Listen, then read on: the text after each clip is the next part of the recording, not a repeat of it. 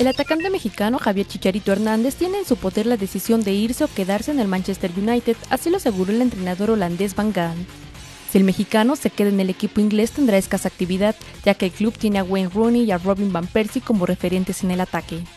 Van Gaal dijo que los jugadores tienen la oportunidad de moverse hasta el 1 de septiembre, por lo que es su elección. Además de Chicharito, Danny Welbeck y Tom Cleverley tienen en sus manos la oportunidad de abandonar a los Red Devils. Por ahora, la prensa italiana asegura que el delantero mexicano formará parte de la plantilla de Juventus de Turín. El Universal Televisión.